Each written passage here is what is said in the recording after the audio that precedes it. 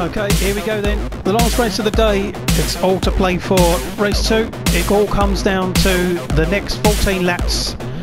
And away they go. Now, and there's Darren spinning out as well. Darren, there's contact there. Push Kieran wide. Oh, but it's gone off. What's going on? Shane's also there in the BMW. Oh, nearly loses it. Kieran's going to have to slow down. No, he's got too much. It's Josh here, and he is leading. This is fantastic for Josh. Oh, a bit of a love tap. And Josh.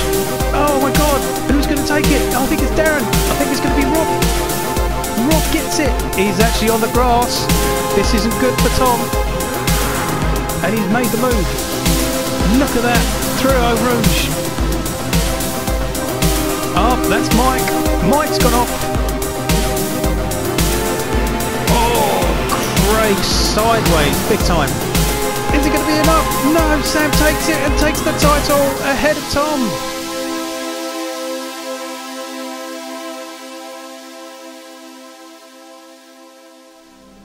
Welcome to the FeckWrest Online Touring Car Championship. My name is Tom, and as always, I'll be your commentator. You're currently looking at uh, Craig Kellett, our current standings leader in the Nissan GTR for Elite Racing. We are here at Laguna Seca Raceway, so let's have a little look at the track itself and have a little look at the entry list. So we come all the way to the United States of America to race here at Laguna Seca Raceway, the 2.2 mile circuit, so there will be 17 laps for the guys to race. Big news in the entry list then, it's a much slimmer grid with only nine cars. In the teams, both Parker Racing and Elite Racing are a car short. Unfortunately, Sam Parker and Rob Pellet were unable to attend, so that meant that Darren and Craig would have to race just for one car for their teams. Tom and Kieran have turned up both for K-Tech Racing, so they'll be able to make up the points there. In the independents, Mark, Gary, Mike and Josh have all uh, turned up, but uh, Stephen Heath is our newcomer and he will be fielding another Subaru WRX in the independents. Unfortunately, James Dawson in the BMW and Harry Cook were unable to attend, so we won't be seeing them. Let's have a little look at the points then for the current standings before we head into our race. Currently leading in the driver's title is Craig Kellett with 96 points. He is 10 points ahead of Darren. Mike is third with 80. Uh, Sam Parker is fourth with 71. Mark has got 68. Harry's got 61. Joint with Tom in seventh. Uh, eighth is Josh with 58. Kieran is a point behind in ninth with 57. Rob's got uh, 46 in 10th. James has got 27. And Gary has got 23. So we will be able to see where Stephen puts himself after the three races. In the teams then, Parker is leading just by three points with 178 to 175 uh, to Elite Racing. K-Tech are quite a few points behind with 143. In the independents, Mike is leading uh, with 107 to Harry, so 12, 12 points ahead there. Harry is on 95, joint with Mark, but Harry won't be scoring today. Josh has got 72, a little way back, and Gary has 40 with James on 34 in 6th. And then obviously Stephen will join at the end of the independents once we finish here at Laguna Seca. So the qualifying went ahead uh, and yet again Craig Kellett puts it on pole. So let's have a little look at our grid for race one. It's an all familiar pole position then for race one with Craig Kellett on the front row for Elite Racing in the Nissan GTR. Next to him is a fantastic second place for newcomer uh, Stephen Heath in the independent run Subaru WRX. Row 2 is Tom Foster in the K-Tech Racing Subaru WRX. Next to him is Mark Nichol in the Renault Megane. Row 3 is the only Parker Racing Darren Parker in the Renault Megane. Next to him is Mike Kuipers in the Nissan GTR. Row 4 is the brand new livery of uh, Josh Hardy in the Renault Megane and another brand new livery of Gary Black in the Lexus RCF. And at the back of the grid is Kieran Thomas in the other K-Tech Racing Subaru WRX.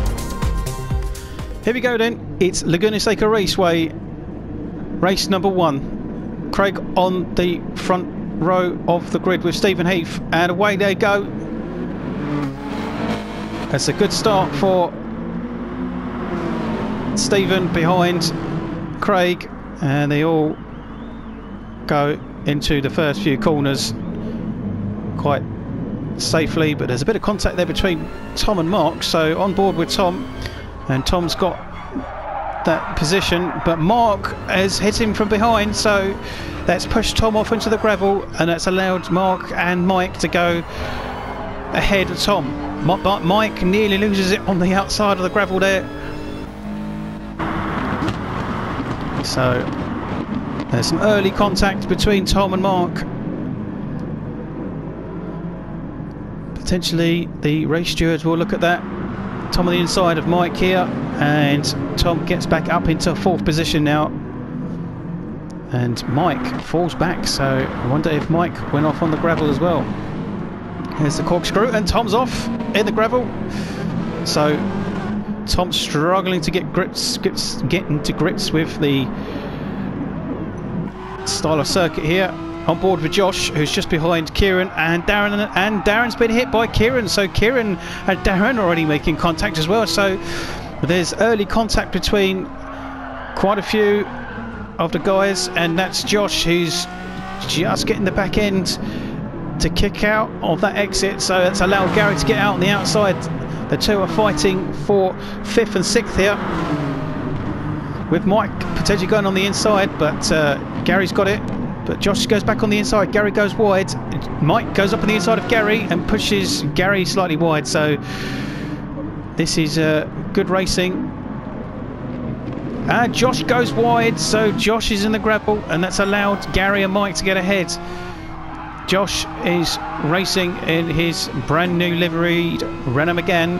Unfortunately, not racing for Zeta anymore. The two parted ways, and Josh had just a small amount of time to find a new sponsorship deal with Endangered Gaming,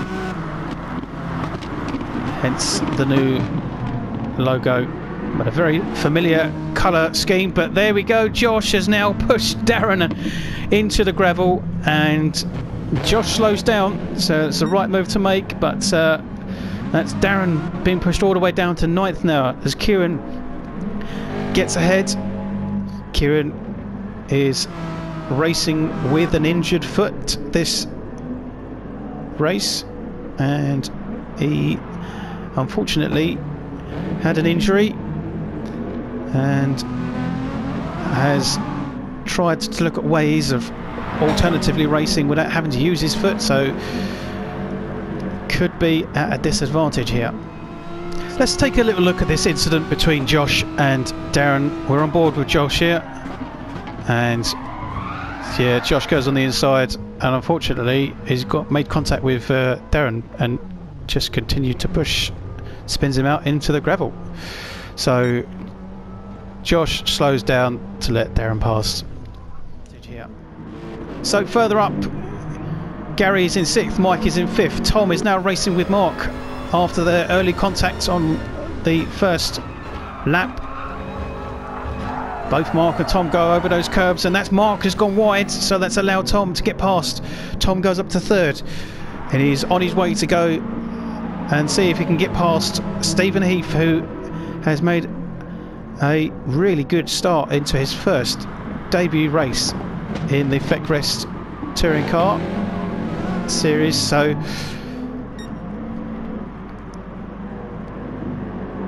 Craig is so far ahead it's unbelievable. He just within a few laps onto lap four nearly on board with Heathy. And as you said already, Craig is just comfortably leading, dominating here at Laguna.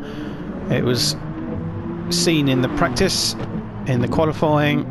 His lap times were in the 119s when everyone else was in the 121s and 122s. Although Heathy and Darren were doing not too bad in the 120s. So spread out a little bit now.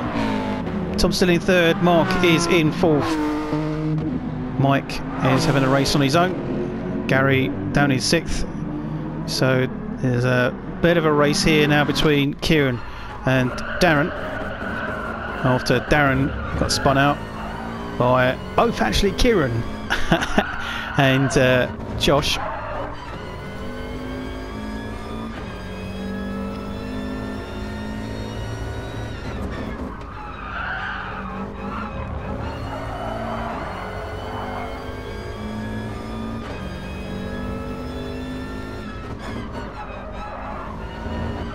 Kieran making the most of the apex there, trying to avoid those curbs. And a lot of the guys have said in the practicing here that the curbs are really dangerous to hit and can really affect your racing line.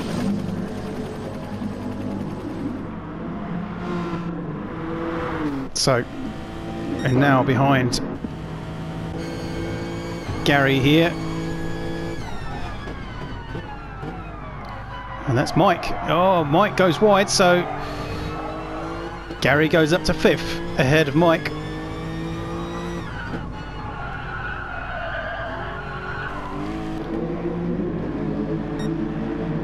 And this is good for Gary, who really thought that the Lexus would be not great round Laguna here and under practicing was struggling to get some good lap times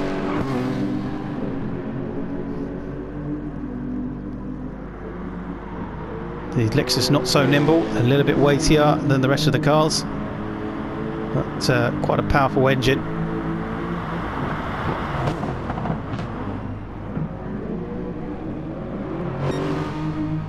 So Mark is now behind Stephen, so Heathy has lost position to Tom. And we actually have some footage of why Stephen has lost his position to Tom as uh, we've heard that he had a, a, spin. So let's have a little look at the spin of Heathy and see what happened to him. Let's have a little look and see what happened to Stephen Heath in the Subaru. I just hit those curbs ends up spinning around a great recovery though. Got it going, but uh, lost those positions to Tom and to Mark. Let's take a, an onboard look at uh, Heafy here.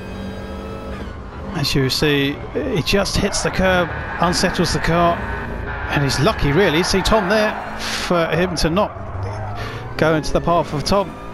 So really well done to recover from that. Yep, so unfortunately that uh, wild spin from Stephen has lost him that second position. Still a good third, but uh, that's his first real big mistake so far. So this fight still carrying on between Gary and Mike. And with only nine cars on the grid, it's a, a slightly more spaced out circuit. So the battles aren't quite so close as they were at Nürburgring, let's say. White going really wide. Wow, almost drifting round that corkscrew like a rallycross car. Great to watch. Can Mike get past Gary? Uh, go on to lap 7 as they come round the final bend. And this is not the first time we've seen Mike drifting round corners. Uh, but it kind of works because he's getting some great results so far and is doing really well this season.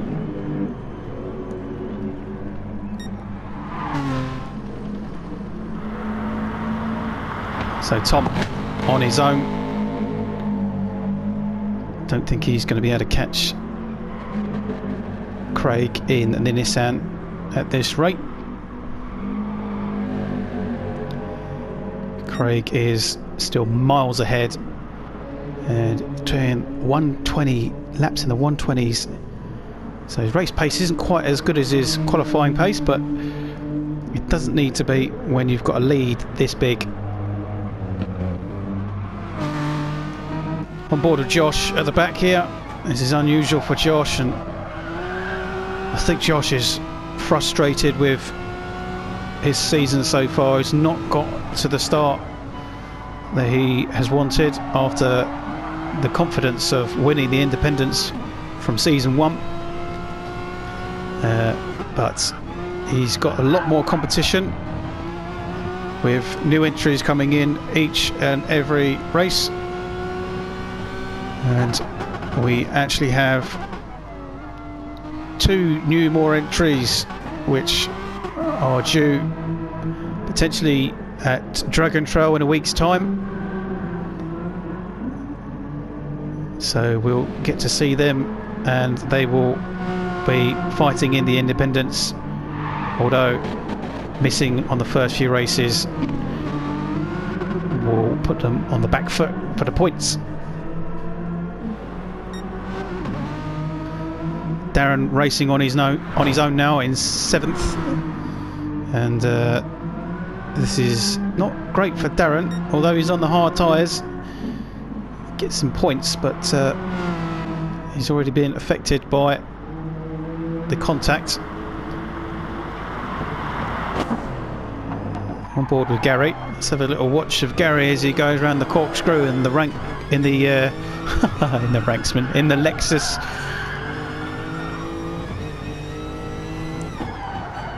That Lexus engine sounds fantastic.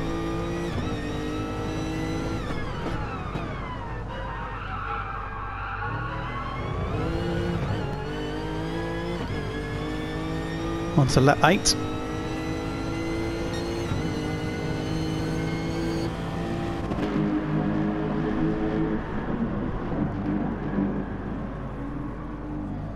Gary running a little bit wide there.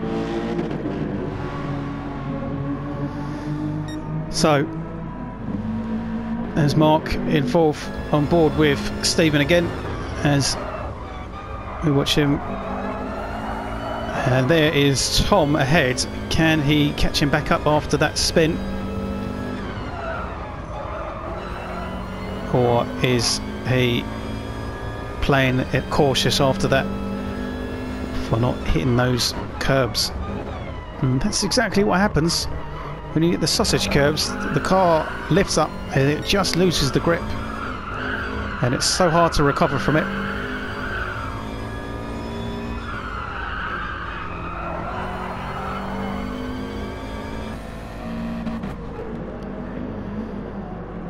This Subaru in a rather hot pink livery with the Union Jack on the top. It really stands out from the rest. It will look quite good next to the orange of Harry Cook when he returns. Hopefully next time.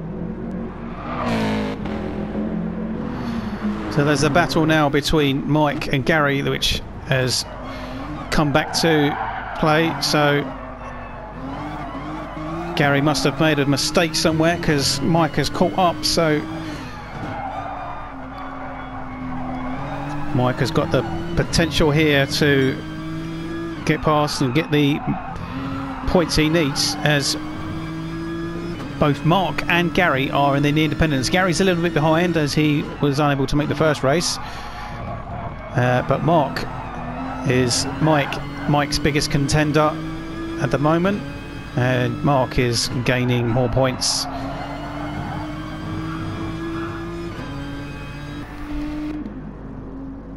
So as the two come over the top of the brow of the hill and both go through the corkscrew. We're on to lap 10. These guys are finishing lap 9.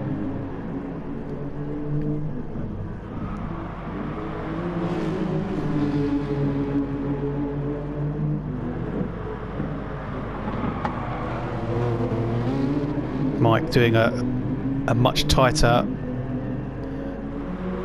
bend, bend uh, as we did see him drift around that last time. So a potential here for Mike to get past Gary. Further round, Marcus on his own, as is Heathy and Tom. And we've now got the leader, Craig, is catching up with Josh at the back. That is how fast Craig is around this circuit.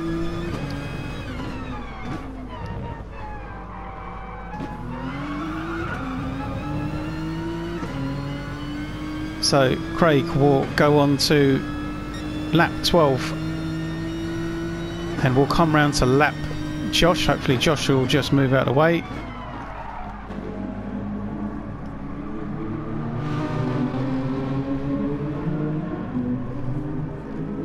He does, Josh does the right thing.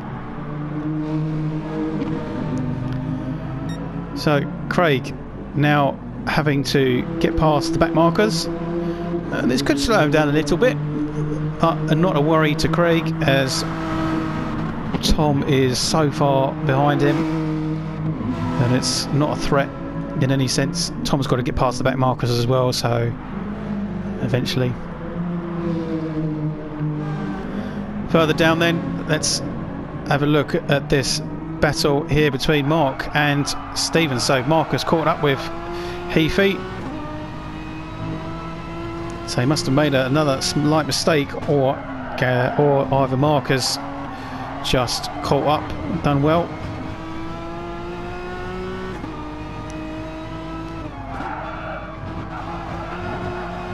Mark taking a great line through that corner there as they come over the top of the hill again. And Mark is looking very quick here as he goes over the through the corkscrew.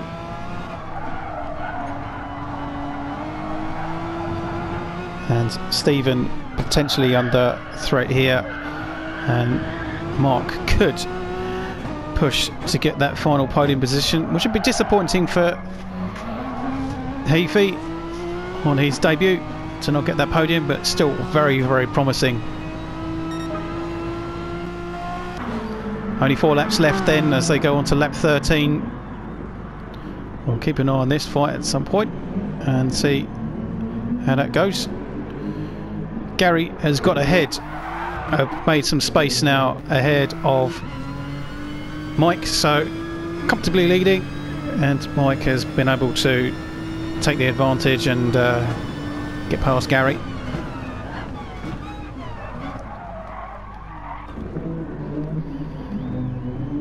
Further down, Darren is now in sixth, Kieran is in seventh, and Josh is in eighth. Oh, Josh has taken a spin. That's going on with Josh. So Josh coming out of the gravel there, so we can have a little look at the replay to see what's happened to Josh. Let's have a little look now. So let's have a little look at uh, Josh, who was behind Kieran, looking to get past him, potentially here. And he's just run wide into the gravel. And as he tries to recover, spins back round. On board with Josh, then I think it looks like he actually goes to follow Kieran into the corner, catches the gravel, and then he's just unsettled the car there and unable to get it back up facing the right way in the end.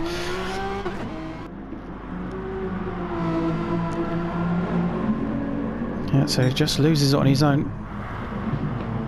Craig coming around for lap 14. Tom is in second. Uh, Mark is in third, so where is Heathy? There's Gary, he's in fourth, so there's nowhere to be seen for Stephen Heath. Mike is fifth, Darren's sixth, so yes. So Stephen Heath has retired, is not even on the track, so must have had an issue that's a big, big disappointment for Stephen Heath on his debut. Put it on second on the front row of the grid with Craig Kellett, who's off on the gravel, but it doesn't matter because he's so far ahead. But uh, yeah, unfortunately, Heafy, and that's Tom also coming off. Oh, and there's contact between Tom and Josh. Some of these cars are going through those corners wild as a the back end of this race is approaching. So luckily Tom's not been affected by that spin.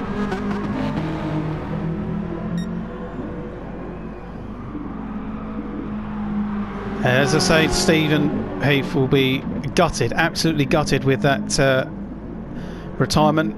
Unfortunately, he will get a DNF. He'll get zero points after being just on the last podium position. But uh, we hope to see Stephen back in for race two to make up for the disappointment. See if he can get at least some points, salvage the damage. He'll be on the back row of the grid, but uh, we'll see what happens race two. But we are still a few laps away from finishing here in race one. So Mark isn't too far behind Tom after Tom took that spin, so I don't think it's quite going to be enough unless Tom makes another mistake.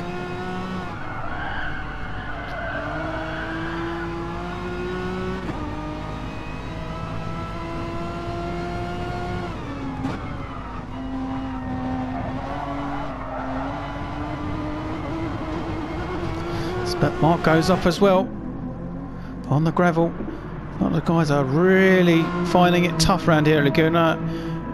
It's a tough circuit where the minute you make a mistake, it really is hard to come back from it.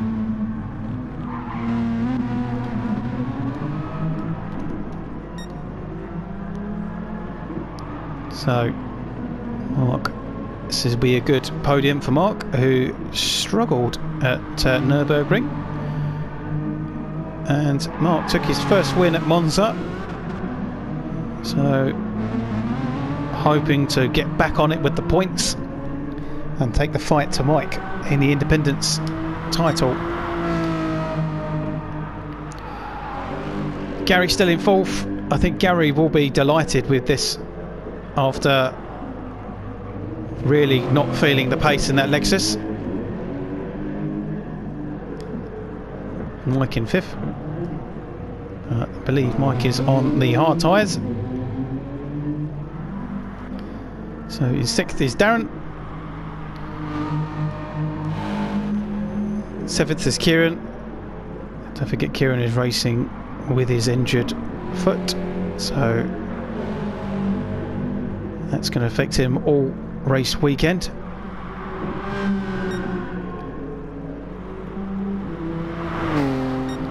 So Craig goes over to take the entry into the final lap. Craig's been racing on his own other than going past the back marker so really it's been a lonely one for, Ga uh, for Gary, for Craig. the two Subarus here together here, Kieran and Tom. Obviously Kieran's going to be overtaken by Tom and being lapped. Again, another frustrating weekend so far for Kieran, who's just really not got uh, off the to a great start this season.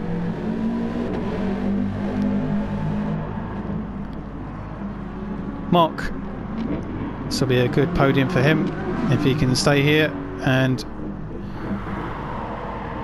so say Gary still in fourth. He's actually got quite ahead of Mike now, so Mike isn't going to threaten him for that uh, final podium position.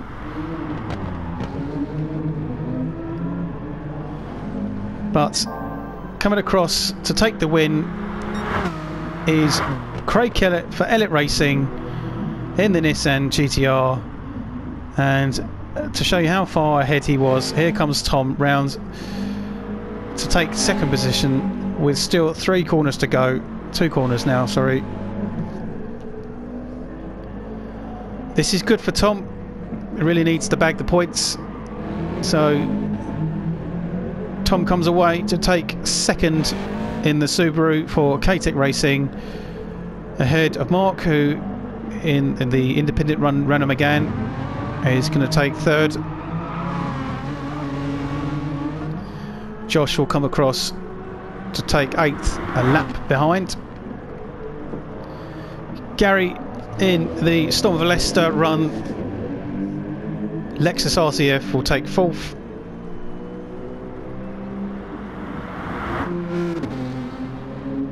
Mike is gonna take fifth. Just ahead of Darren. There we go, drifting again with Mike. So fifth will be taken by Mike, and sixth will be Darren for race one. Craig takes uh, yet another win then ahead of Tom in second. Third is Mark. Fourth is Gary. Mike is fifth. Darren is sixth. Kieran is seventh ahead of Josh at the back with Stephen unfortunately not finishing after retiring during the race. So what that means for the drivers overall standings then Craig is uh, still well ahead in the lead with 118. Darren is second still with 96. Mike is third with 91. Mark jumps up to fourth with 83. Tom also jumps up to fifth with 78. Sixth is Sam with 71. Seventh is Josh, joint with Kieran with both 66. Harry is ninth with 61. Rob is 10th with 46. 11th is now Gary with 36th. James is 12th with 27. And Stephen, unfortunately, doesn't score any points in 13. 13th with obviously Shane, who still hasn't actually had a race yet. In the teams, Parker has been overtaken by Elite yet again uh, by two points 195 to Elite to 193 to Parker and K-Tech have made a considerable jump in third to 273 with having two cars turning up to the race. In the independents, Mike still is leading with 122. Mark goes back up to second with 115 ahead of Harry with 95. Fourth is Josh with 85. Fifth is Gary with 57. James is 34 in sixth ahead of Stephen and Shane who have yet to score.